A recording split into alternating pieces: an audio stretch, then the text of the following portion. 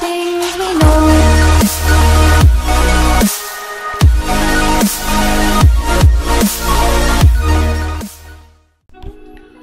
Hey guys, welcome back to my channel. Hope you all are keeping well. Today's video is about a product named Seachem Matrix. It's a biofiltration media used in aquariums. It's used in both fresh and marine aquariums. It's a highly porous media with a surface area of more than 700 meters square per liter.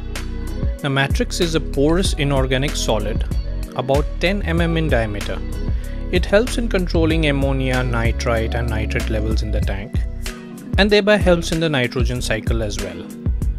For details about nitrogen cycle you can watch the other videos on my channel. This media supports aerobic and anaerobic bacteria species. It is completely inert and will not break down. It need not be replaced.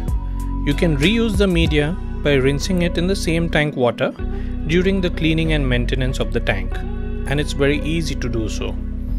It comes in 100 ml, 250 ml, 500 ml, 1 liter, 2 liter, and 4 liter pack.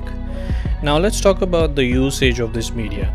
The standard usage is 250 ml of matrix that could treat around 200 liters of water. It can be placed in any filter or media bags and kept directly in the sump with a good water flow.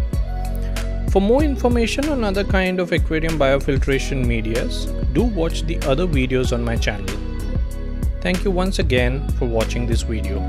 Don't forget to hit the like button, share and subscribe to my channel. Have a blessed day. Bye bye.